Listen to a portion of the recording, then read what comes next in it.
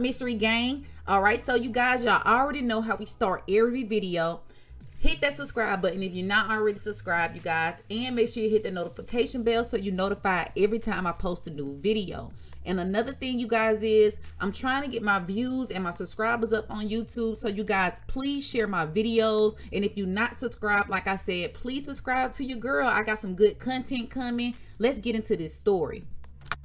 All right, so today we're going to be talking about the case of Marisela Botello. Now, Marisela was a 23 year old woman from Seattle, and on October 2nd, she went down to Dallas, Texas to visit an ex boyfriend.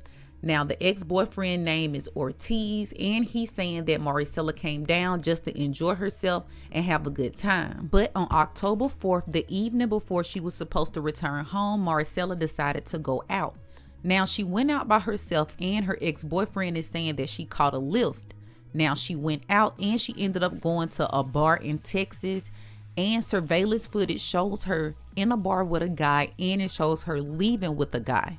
Now, Ortiz, he's at home. He's thinking that, okay, she's going out and, you know, she'll be back because she has to go home tomorrow back to Seattle.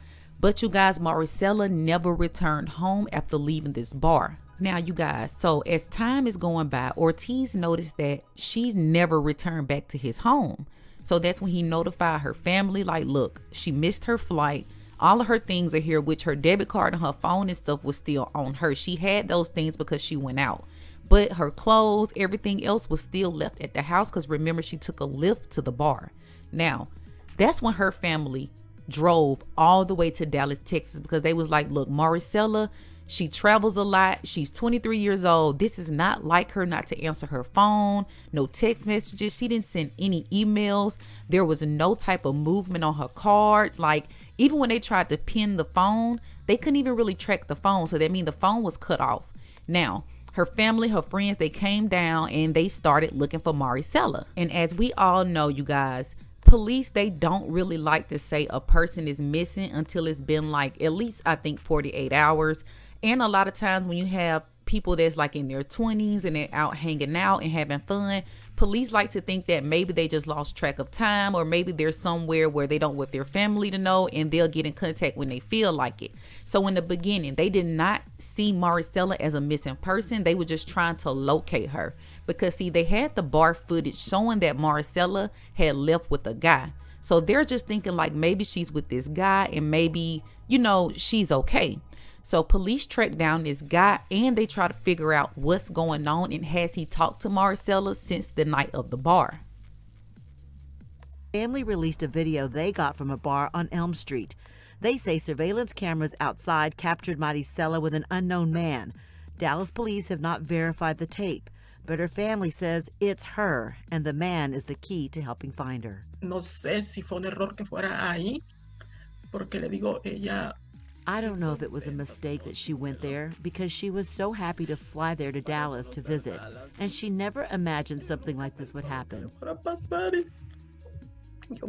If someone knows something, please tell us or let her go. I beg of you. Her friends and family haven't seen her since. As Alex Rozier reports, they're desperately hoping someone can help find her. On a Sunday in Dallas, Deep Ellum is one of the city's most popular spots. This is what I've been doing down here the past few days. But it's a place Patrick Helmbrecht never planned to visit. That she was in here, um, been missing since the 4th. He's looking for his friend Marisela Botello. She uh, missed her scheduled flight back to Seattle on the 5th as well. Visiting from Seattle after a weekend with her ex-boyfriend, she went drinking alone on Monday, October 5th. Just after midnight, a lift dropped her on Elm Street, and surveillance video showed her leaving Select Start, but she hasn't been seen since. From there, um, she just never came back. And that's around the same time also that um, we seen the last um, cell phone activity, um, the last time her debit card was ever used. So Marisela's family, they really did more than the police in this situation. They was like, look, this girl is 23 years old. She's travels all the time. She keeps in contact with her family and her friends. This is not like her. So, after so long, the police finally upgraded the case into an endangered missing person. Now, as I said before, Charles Beltran was the man that she was seen leaving on surveillance footage. So then the police they did this press conference saying that they needed to locate Charles to try to see if he knew where Marisela was. But you guys, Charles was missing as well. They could not find Charles. They could not get in contact with Charles. And for months, and when I say months, you guys, nobody knew anything. Like there was no trace of Marisela. Her family and friends were desperate to find answers, and police really didn't have any leads. So, y'all, as soon as Marisela disappeared, Charles Beltran, the man that was seen on surveillance footage, he disappeared as well. It's almost like both of them just fell off the face of the earth. Police could not even find his Audi. I think it was an Audi. They could not find his 2014 Audi. They could not find him. They could not find no traces of him. Now, that right there showed investigators that something foul had to have happened. Because why would Marisela run off with a man that she doesn't even know that she just met that night? That doesn't even make sense. Now, they look for Charles for months and months, and you guys, they cannot find him. And then all of a sudden, just recently on March 24th, police they get like this tip that there's a body in a wooded area. Now, this wooded area was on Post Oak Road in Wilmer. And when they went out there, they did indeed find a body, and that body was identified as Marisela. Now, you guys, the search for Charles intensifies because right after finding Marisela's body, they issue warrants out for, for Charles and a woman by the name of Lisa Dykes. Now, Lisa Dykes' maiden name is Beltran, so I'm guessing Lisa must be Charles's mother because Lisa is 49 and Charles is 31. So, nine times out of 10, Lisa is his mother, and they feel like she helped him with this murder. Now, so Although Charles and Lisa they are on the run, police do not know where they are at this time. They did arrest a woman by the name of Nina Moreno. Now this lady is also 49 years old. Now they arrested her in Miami and it's being said in one of their homes they found blood evidence that leaked back to Marisela. So police know for a fact that they have the people that they feel like killed Marisela. Now, I don't know who Nina Moreno is. Like I said, the fact that Charles and Lisa they're still on the run, I don't think police want to issue out too too much information because they're afraid that it might tip them off. Now, in my eyes, the way I think that this went is Charles might have took Marisela home that night and something ended up happening. Now, I believe that Lisa and Nina, whoever these two people are to Charles, they have to be related now, I believe that they then helped Charles dispose of Marisela's body. But like I said, police have enough information to charge charge everybody with murder, and as they should. Now, I don't know if Miami played a huge role in this because this happened in Texas, but from what I'm hearing, Nina and Lisa stayed in Miami. So I'm not really sure how all of this ties into each other, but you guys, once Charles and Lisa are found, I'm quite sure that a lot of more information is going to come out. News regarding the search for a young woman who went missing in Dallas. Uh, human remains were discovered in a wooded area of Wilmer, and investigators now tell us it is Marisela Botello Valadez. She was last seen one night in Deep Ellum more than five months ago. Valadez lived in Seattle but flew to Dallas to visit her ex boyfriend and decided to go out alone one evening. Yesterday, police arrested one woman in Miami in connection with her murder.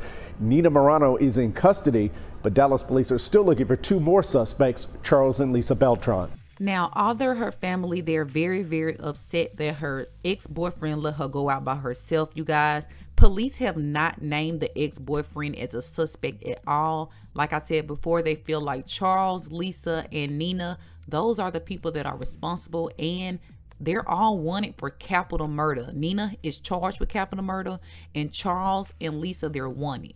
So they have the people that, you know, they feel like are responsible. But like I said, we still don't know what happened. Now, another thing to look at is this has been going on since October. There is no telling where Lisa and Charles are at by this time. Hopefully they have not went across the border and tried to flee, but it's a whole pandemic going on you guys. It's so much things going on to the point where they could they could be long gone by now. And i totally agree with the family. I feel like the ex-boyfriend he knows that this is a 23 year old beautiful woman. Like she was drop dead gorgeous you guys. And the fact that not only did she catch a lift by herself in texas she went out by herself to a nightclub. Like, I just don't understand why the boyfriend would invite her down and then let her go out on her own. Like, that just doesn't even make sense. Now, as I said before, hopefully Charles and Lisa have not fled the country, but the way it looks, you guys, they are in hiding somewhere. If you have any information on the whereabouts of Charles Beltran or Lisa Dykes, aka Lisa Beltran, please notify the Dallas police or notify your local police department. Don't hesitate to let somebody know if you know anything, you guys. This case, it really, really brought tears to my eyes because this girl was so beautiful and had so much of a life to live. And the fact that they took her life like that and just dumped her in the woods, they didn't know her from a can of paint. This girl was from Seattle. She was just down here to have a good time. But you guys, sometimes different areas is is just not safe to be by yourself. Now, from what I'm hearing, the Deep Ellum area, I think that's what it's called in Dallas, Texas. From what I'm hearing, is like a party area.